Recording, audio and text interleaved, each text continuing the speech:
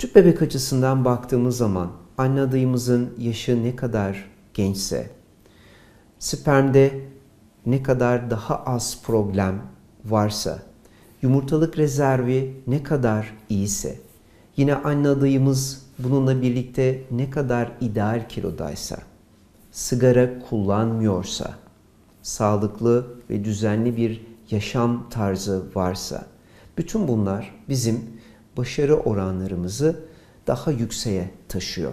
Ortalama olarak bugün 35 yaş altında tüp bebek denemelerinde yaklaşık olarak %55, %60'lık bir başarı şansına sahibiz ama anne yaşı ilerledikçe bu oranlar düşüyor. Ama gördüğünüz gibi en yüksek oranlar %60 olarak telaffuz ediliyor.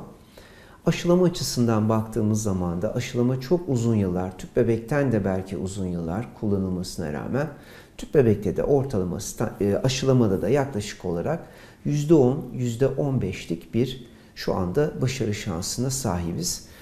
Buradan belki de en önemli mesaj sabır, vazgeçmemek, bir defa denediği ama olmadı hiçbir zaman umudu yitirmeden ümitle kaldığımız yerden devam etmek olmalı bence.